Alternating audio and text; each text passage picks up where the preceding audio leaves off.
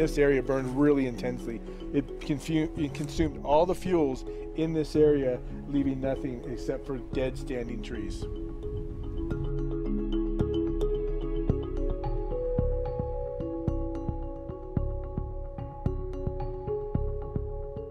People come from around the world to experience the 800,000 acres in these two national parks behind me.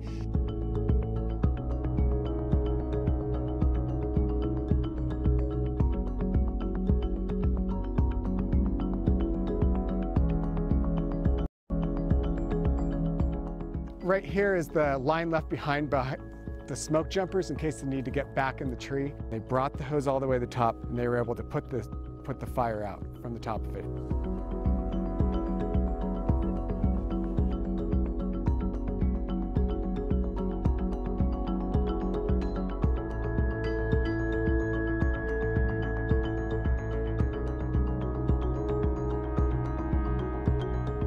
Let's sign this $15 billion package into law.